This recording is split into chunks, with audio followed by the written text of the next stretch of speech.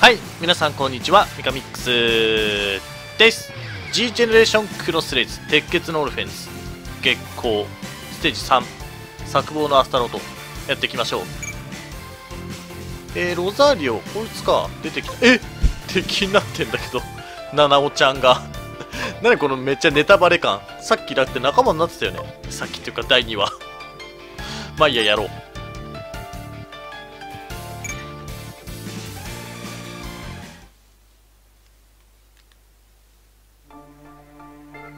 先の戦闘を勝ち抜き無事合流を果たした主に対してボルコはダチン代わりに彼との約束を果たした。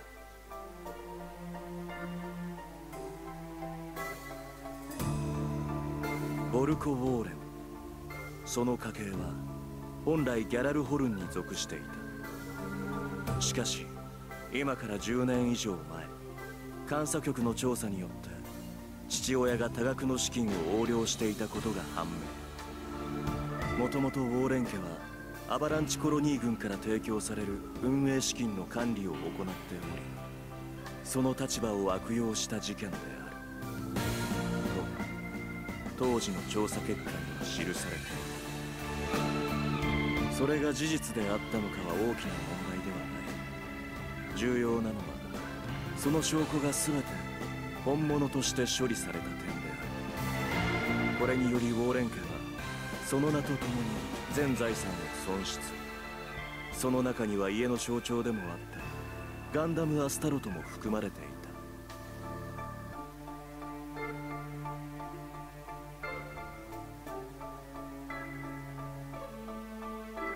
その後アスタロトは裏の市場に出回っていったらしい。というのがボルコの知る全てであるらしい。と全てはダディが知らせてくれたことだ。その関係上タントテンポとウォーレン家は古くからつながりがあった。その家の息子がアスタロトを取り戻そうと躍起になっているのを見るに見かねたんだろう。機体ともどもダディが俺を拾い上げてくれたんだ。再会した時アスタロトは体を奪われフレームだけの姿になっていた。俺はアスタロトを元の姿に戻すために生きている。それは何のためだ？さあ。これが俺にとっての復讐なのかもしれんそのためにボルコは脳に情報チップを埋め込むという危険な手術をも行いタント店舗の一人として働く。家族を奪った異形の機体ガンダムに復讐を誓う者。そして家族が残した機体ガンダムの再生を糧に生きる者。技術も知識も力さえ持たない者たちが生き抜くためには何かを犠牲にする覚悟が必要だったので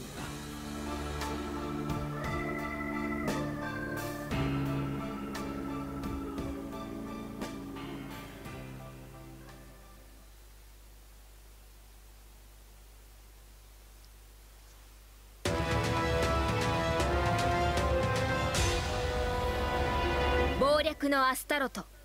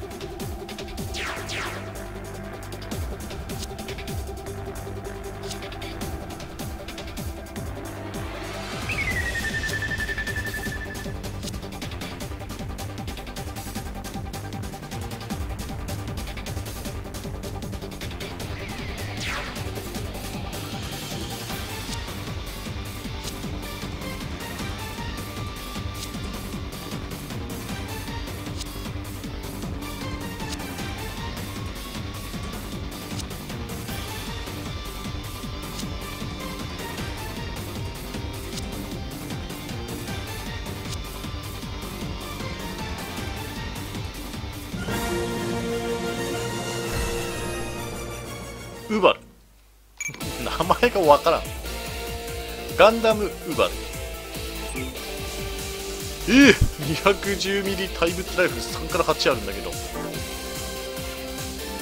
早急に近づかなければ。射程には入ったか。あこっちも8持ってるわ。えーと1万2000向こう1万5000もあんじゃねえかよ。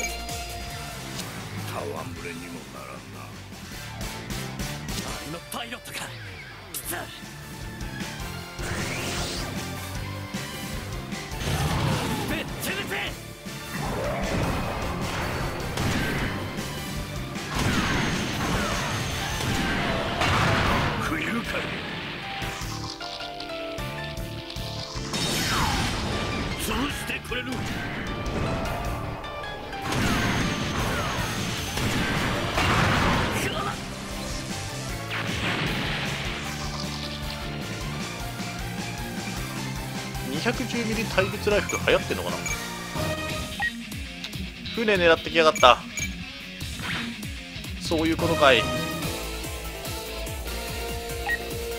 火力として一番高いのはこれか結局。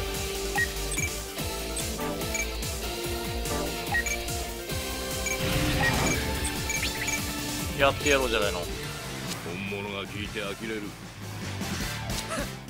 勝手に呆れてろよ偽物が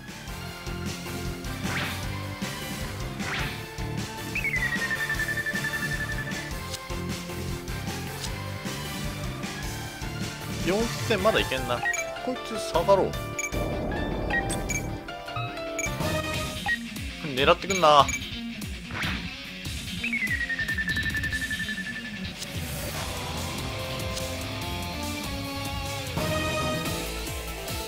あと1ターン以内って。どうすればいいんだよ。それは無理ですよ。こいつが狙われない限り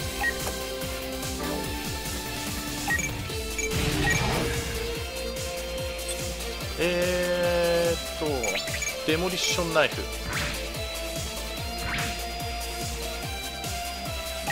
逃げろ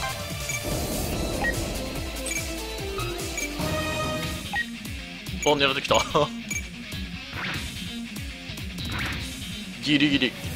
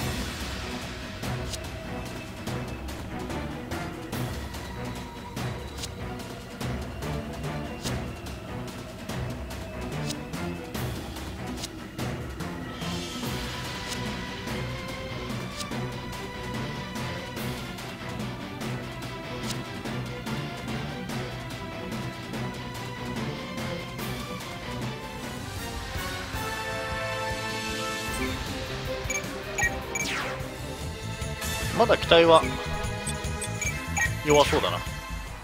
こいつら。所詮ギャラルホルン軍だからな。えーと主でロザリオを撃破か。まあ主はちょっと前方に行くか。対立ライフルもちょっと撃っとこう。ガンガン。もらったぞこれで勝てるつもりとは。その腹っ柱をへし折ってやらねば。何もわからんか。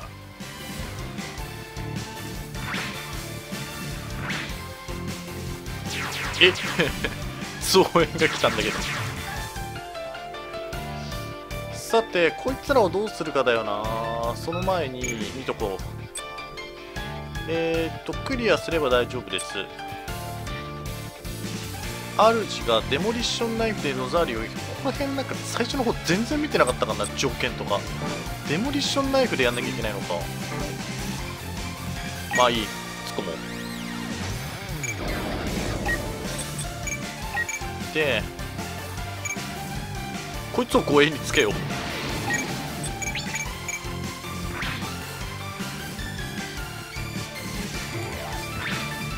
一体3000も食らうんだよだって。毎回毎回さ。えーとどっちで行くかな？こっちで行くか。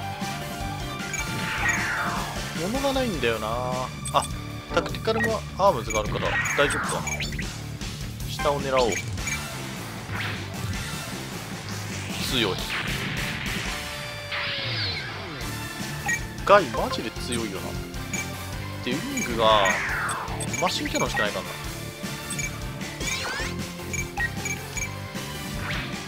これ連続かヒット数によるの。まあ1万いけば倒せっかね。あとはヘビーアームズえー、っと。あこれローエングリンランチャーだよな。ちょっとローエングリンランチャーは火力が出なそうだから。普通の攻撃で。えーとぶん殴っとこう。ジャスティスはもう殴りしかないから。攻撃通るのが。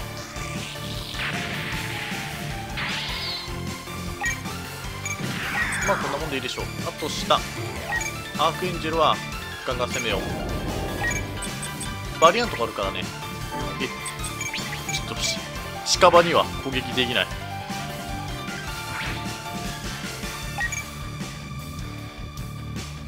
さてどうするか。覚醒値上げときたいな。もうフェザーパネルがな。弱いからな。もうちょっと射程が欲しい。えー、じゃあカトル様殴って。いいね硬い硬い。でフェニックスでフェザーハネル。こいつも覚醒値上げてないからな。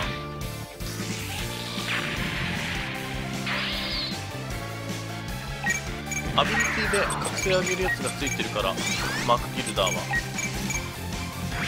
だからこっちよりはやっぱ強いよね。ダブルフェニックス。でケルディムも出しておいてこっちのブルーフレームも出しておこう。来るかな？突っ込んできてほしいんだけど。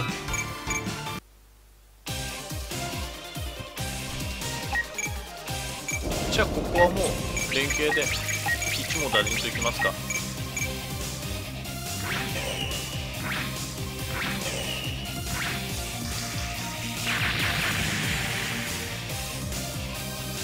やっぱレベル上がるのが渋くなってきたな。でここももういいや1も打陣でいこう。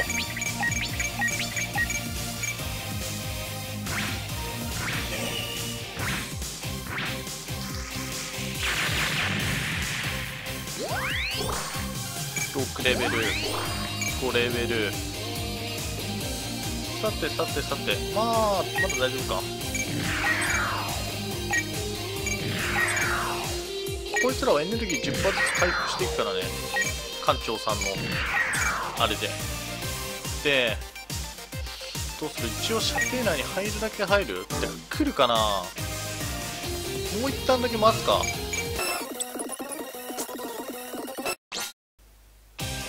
来たな。3900って減らせられる？デモリッションナイフ。微妙だな。防御されてる。ダメだ。一発やっぱ入れとくか。ミサイル入れとくか。あんまり火力の高くないやつ。えちょっと待って。3900何がいい？あビーム系でやればいいんだ。ビーム系でやればさすがに貫通しないっしょ。1500いいねいいねいいねいい感じでいい感じ。これにしよう。でデモリッションナイフ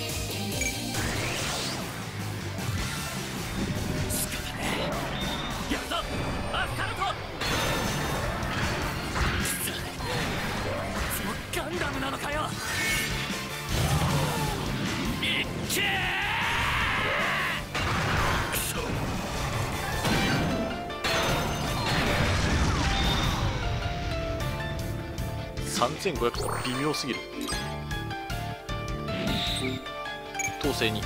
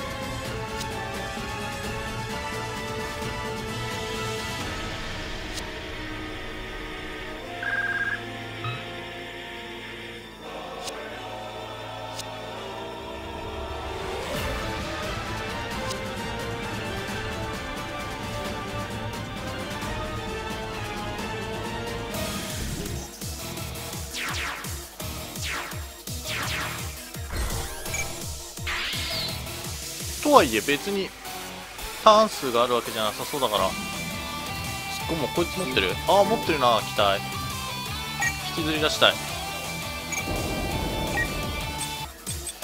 ょっとまずは邪魔なやつらから排除していくか。あちょっと待って待って待って。こいつダメだ。こいつとこいつ。で OK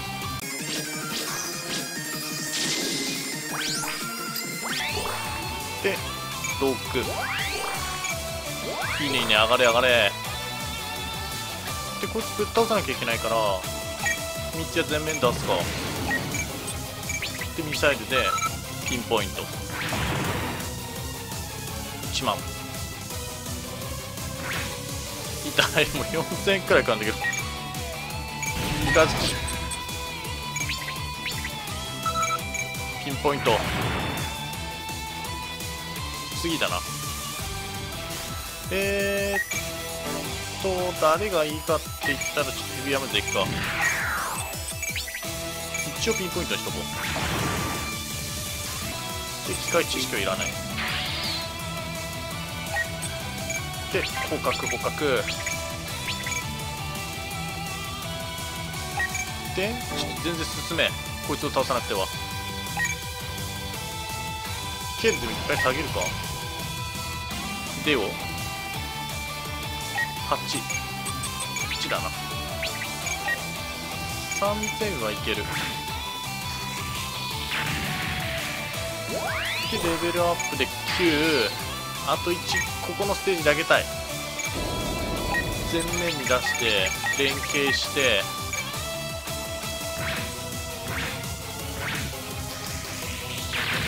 これ危険値100%入んのかな？なんか入ってるっぽいよね。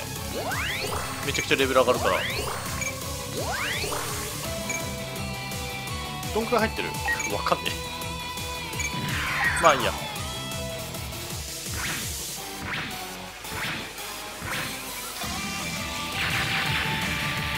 効率良すぎる。統率力はいらん。ブルデュエル2ストフリ5バルバトスは3ヘビアムズ4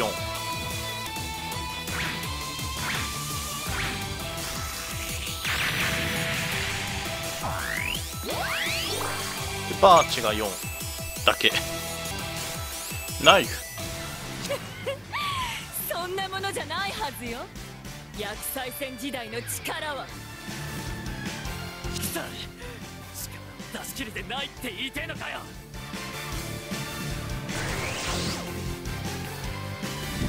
俺をアスタロトをなめるな仕掛けてくるならやり返すまでだ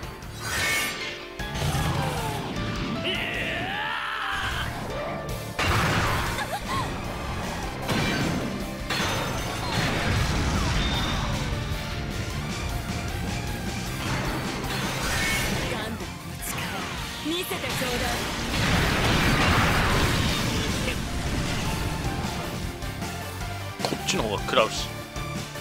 3100だったらいけんだろう。ここで決めたい。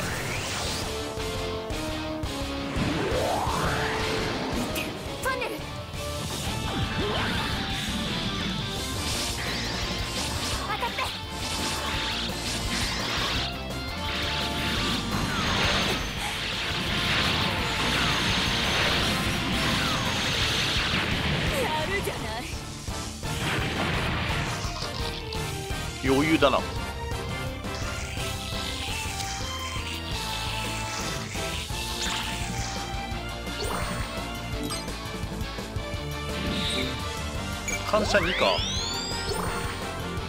えーと10レベルよし。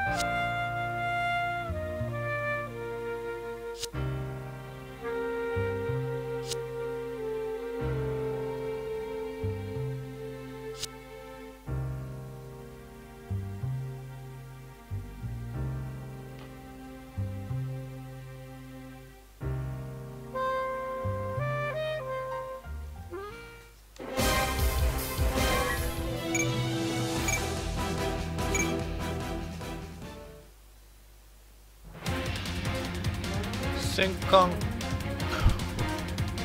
あれメリクリウスというのがいる。戦艦の方か。ジャン・マルコ。えー、っと水上用パーツいらないな。さてさてじゃあまずは編成例によって。えー、っとねこいつがハロにできるのよ。でハロにして待機状態になってであれ開発したやつってあ売ってはいるかやっぱり。そうだなフェニックスガンダム。どうしようでもフェニックス1機持ってるっちゃ持ってるからな。なんかせっかくだからねなんか L サイズとかはここに置きたい気もするけどっと外しとくこれ。えー、っとちょっと待機させといて配置でハロ216か。プラス30で216か。ちょっと弱えな。ハロバブルがある。ハロビットもある。ビーム兵器はむしろない。エネルギー使いそうだからちょっと待ってこれ回避後外しとこう。どれだ？なんかエネルギーをつけたんだよな。あこれだエネルギータンク140だからね。装備しよう。でえー、っと空中適正1あそうかこれ戦艦用にちょっとつけようかと思ってたところか。回避後。なんか回復のやつちょっと欲しいっちゃ欲しいな。なんかいいのある？命中3とか。3とかしょぼいよな。どう考えても。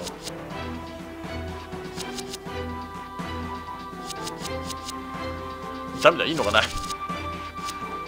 回避5つけとくか。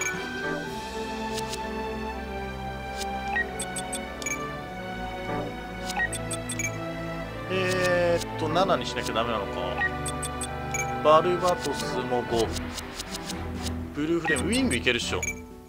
いけねえしウィングゼロ。これ何？プロトゼロなんてあるんだ。まあウィングガンダムよりは強いな。プロトゼロからまあニューになってるしちょこっちから作っていこう。いけるっしょプロトゼロからウィングゼロさすがに。いけるよな。ヘビーアームズもまあ別に。えーっとジャスティスディジェネイトガンダムとかいうのがロングビームナイフが6か。まあちょっといいや。でこいつどうしよう。ジンクスでも置いとく？ジンクスなんかいろいろいけそう。アルバーロンいけんじゃん。考えよう。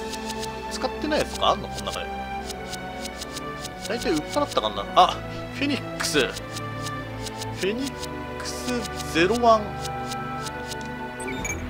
01からフェニックスにしていこう。ケチって。エリスクロード。ちょっと頑張ってまた鍛えてこう。サンドロック。あーこっちだな。ヒートショーテルバカとかマジかよ。めちゃくちゃ射程短いんだけど。ヒートショーテル1って。バルカン2って。一応作るだけ作ろう。絶対これ普通のサンドロック界の方が使いやすいじゃん。まあいいや。もうせっかくだ作ろう。サンドロックの最終形態として。もしかしたら戻すかもしれない。使いづらすぎて。バーチェは。バーチはセラビが6か。えーっとこれ気になるな。ビルゴも強いっちゃ強いからな。パーフェクトストライクまではもうちょっとかかるか。チミナスがな。なんか微妙なんだよな。これ02かで捕獲リスト。ちょいっぱいあジンクス2になってるそういうの。普通のジンクスも売っていい気がするけど。まあいいや。全開対象。金になるし。10万円。いいね。よし。じゃああとちょっと金貯まってきたからアビリティ編成とかを考えてまた次回やっていきたいと思います、えー今回はこれで終了します。最後までご視聴ありがとうございました。チャンネル登録高評価していただければ幸いです。